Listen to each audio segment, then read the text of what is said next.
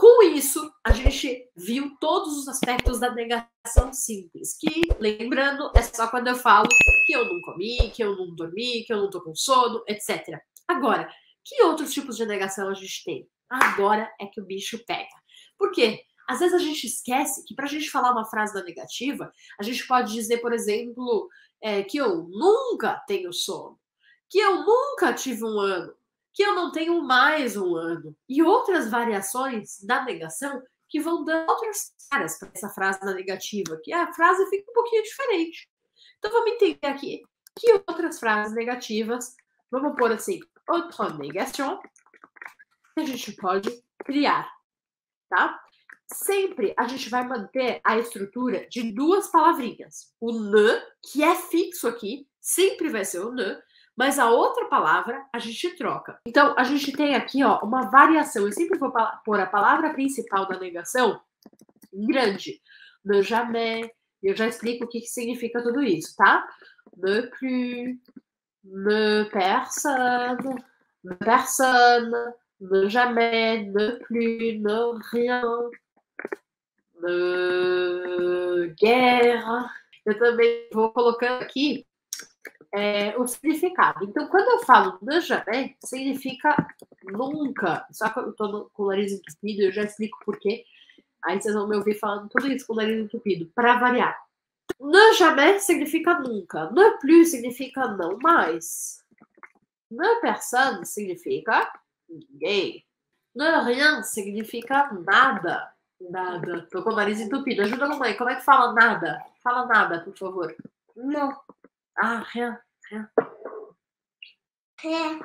Très bien. Guerra. No guerra significa não mais também, tá? Mas é uma mais mais Não forte. mais. É, très bien. É. A gente viu aqui, primeiro, a negação simples, né? Que é sempre composta por duas palavrinhas, para não confundir, deixa eu pôr essa aqui pequenininha e essa grande. Porque a palavra que está em grande é a palavra principal da negação. A primeira pode até desaparecer, a segunda nunca.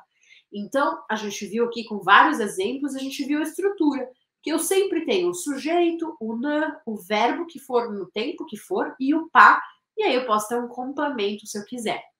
Agora, a gente tem outras formas de fazer frases na negativa.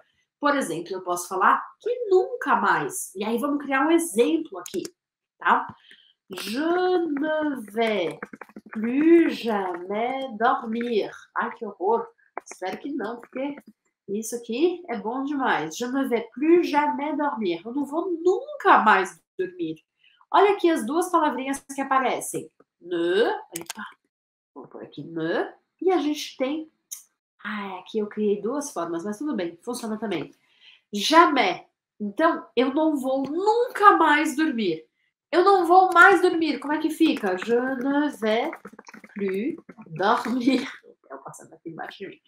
Je ne vais plus dormir. Eu não vou mais dormir. Então, a gente tem também as duas palavrinhas. Aqui, ne personne. Lembrando que personne significa ninguém, tá? Então, ne jamais significa nunca. Você pode tirar o ne, mas o jamais sempre tem que aparecer.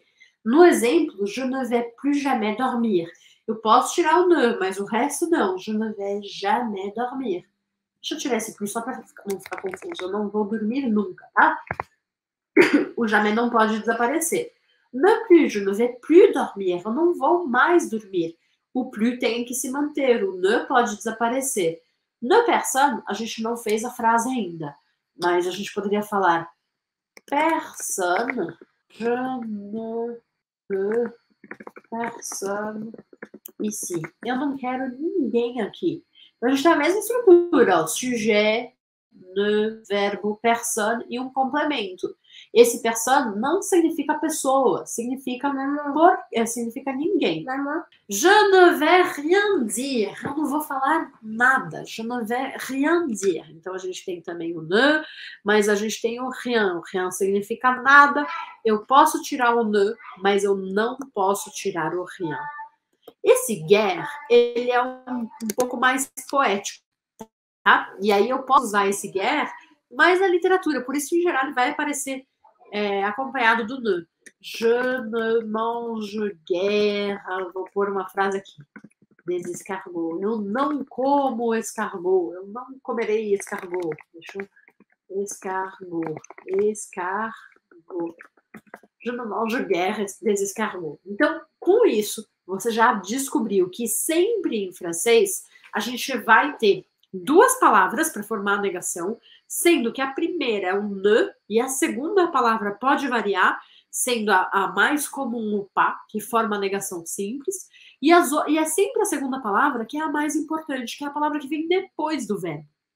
Então lembra disso, que se você for tirar uma palavra e manter a outra, a, a segunda palavra nunca pode aparecer. E aí, finalmente, outro ponto aqui importante é uma confusão de tradução que acontece muito até no cinema, que é o que. Esse que não é uma tradução, deixa eu pôr, não é uma negação, não é negação, tá? O que, que é o que? Significa apenas. Então, eu vou criar um exemplo aqui. Je ne mange que des pommes. Eu só como maçã. Eu apenas como maçã.